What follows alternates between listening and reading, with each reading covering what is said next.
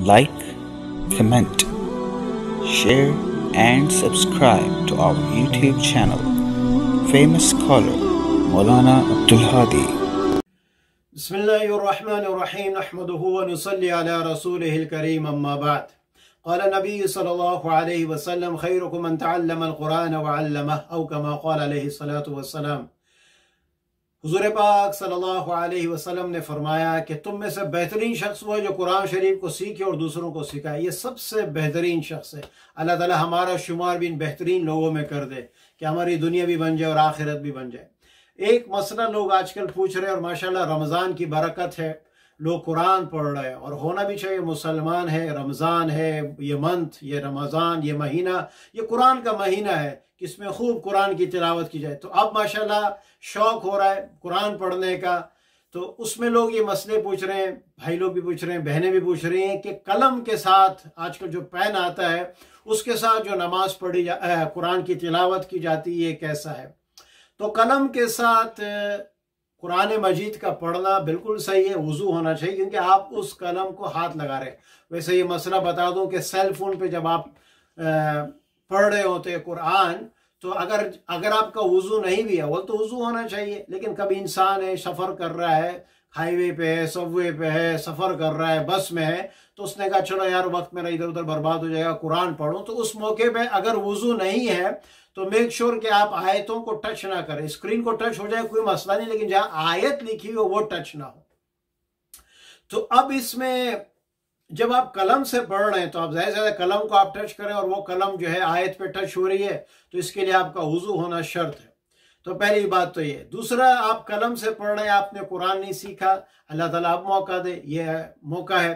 اب آپ بالکل قلم سے پڑھ سکتے ہیں، لیکن کوشش یہ کریں قلم کے ساتھ کہ آپ خود بھی دہرائیں اب بعض لوگ کیا کر رہے ہیں کہ الحمدللہ وہ بھی شوق ہے، جذبے سے کر رہے ہیں، لیکن بہتر طریقہ نہیں۔ وہ کیا کر رہے ہیں؟ قلم رکھ کے وہ تلاوت ہو رہی ہے۔ تو یہ سن رہا ہے اور کہا میری تلاوت ہو گئی، واخر دعوانا، چلو بھائی۔ نہیں، یہ بھی ہے الحمدللہ، لیکن بہتر طریقہ یہ ہے کہ جب وہ پڑھے جو قاری صاحب ہے جو آپ قلم رکھے، وہ قاری صاحب پڑھنا شروع ہو گئے۔ آپ بھی ان کے ساتھ پڑھیں تو آپ کو تین اجر مل جائیں گے۔ کیسے ملیں گے تین اجر؟ ایک تو آپ کو پڑھنے کا اجر ملے گا، دوسرا آپ کو سننے کا اجر ملے گا، اور تیسرا اجر آپ کو سیکھنے کا موقع ملے گا۔ کیونکہ جو قاری صاحب پڑھ رہے ہیں وہ ایکسپرٹ ہے قاری ہے ماشاءاللہ۔ تو جب وہ پڑھ رہے ہیں، آپ سنیں گے، پھر آپ دہرائیں گے۔ تو صرف قلم پہ آپ وہ نہ کریں یعنی کہ اس سے کہ بھائی قلم پڑھ رہا ہے، بس ختم، میری چھٹی ہو گئی۔ نہیں، آپ بھی ساتھ ساتھ پڑھیں۔ اور کوشش یہ کریں کہ تین مرتبہ ایک ایک آیت کھوڑے دیکھیں، قرآن زیادہ پڑھنا فرض نہیں ہے، واجب نہیں ہے۔ صحیح قرآن پڑھنا یہ فرض اور واجب ہے۔ صحیح قرآن پڑھنا یہ فرض اور واجب ہے۔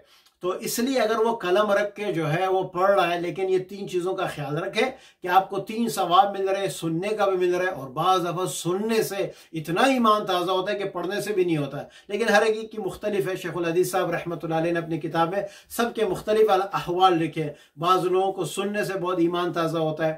تو آپ کو سننے کا ثواب بھی ملے گا اور آپ کو سیکھنے کا ثواب بھی ملے گا اور اس حدیث کے ذہن میں آ جائیں گے۔ اور تیسرا، آپ کو جو ہے پڑھنے کا ثواب بھی ملے گا۔ تو اس لیے سیکھنے کی نیت سے اس کو پڑھے اور اس حدیث کو سامنے رکھے کہ حضور صلی اللہ علیہ وسلم نے فرمایا کہ تم میں سے بہترین شخص وہ ہے جو قرآن شریف شریف سیکھے اور سکھائے۔ اور اس حدیث کی کہ جو راوی ہے، عثمان رضی اللہ عنہ اس حدیث کے راوی ہے۔ اس سے پہلے جو راوی ہیں، تابعی، ان کا نام میرے ذہن سے نکل گیا۔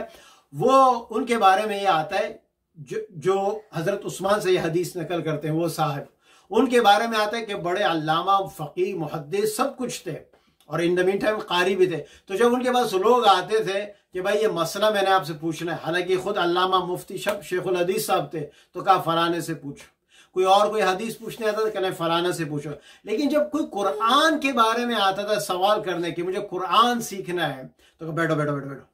سبحان اللہ کیا لوگ تھے، کیا لوگ تھے کہ قرآن کا شوق اتنا تھا اور کہنے لگے، میں چاہتا ہوں کہ میں اس حدیث کے زمرے میں آ جاؤں۔ خیرکم من تعلم القرآن وعلمہ، کہ تم میں سے بہترین شخص ہو جو قرآن شریف سیکھے اور سکھائے، تو میں تمہیں سکھاؤں گا، میں اس حدیث کے ذیل میں آؤں گا۔ تو مسئلے کے لیے کسی اور کے پاس بیچتے تھے۔ کوئی حدیث کی معلومات کرنی ہو، کسی اور کے پاس بیچتے تھے۔ لیکن جب وہ کہتا تھا، میں نے قرآن سیکھنا کہتا بیٹھ بیٹھو۔ اللہ تعالیٰ ہمیں بھی، ہمارے عورتوں کو، مردوں کو، اور ایسے ہیں مرد اور عورت، ماشاءاللہ، جن کے اندر یہ جذبے ہیں، میرے باروں میں ماشاءاللہ، میرے شاگرد بھی کئی جو اس وقت لوگوں کو قرآن سکھا رہے ہیں، گروپس بنائے ہوئے ہیں، ماشاءاللہ، بہت اچھا ہے، یہ ہونا چاہیے، اسی طرح قرآن پھیلنا چاہیے، جس طرح ہم انگلش سیکھ رہے ہیں، اسی طرح عربی، قرآن، یہ تو فرض ہے نا کہ قرآن آدمی سیکھے کہ کس طرح اس کو صحیح پڑھا جاتا ہے، اتنا قرآن تو فرض ہے نا کہ اپنی نماز تو صحیح کرو۔ ورنہ اگر آپ نے قرآن صحیح نہیں سیکھا تو آپ کی نماز آپ اس میں غلطیاں کرو گے، بڑی بڑی غلطی کرو گے۔ تو انشاءاللہ اس میں مستقل ایک کلپ بنائیں گے۔ قرآن میں جو غلطیاں ہوتی ہیں، وہ دو قسم کی ہوتی ہیں۔ تو اس میں ایک مستقل ایک کلپ بنائیں گے انشاءاللہ۔ اللہ تعالی ہمیں صحیح قرآن پڑھنے کی توفیق نصیب فرمائے اور اس رمضان میں خوب سے خوب قرآن پڑھنے کی توفیق نصیب فرمائے۔ وآخر دعوانا الحمد للہ رب العالمین۔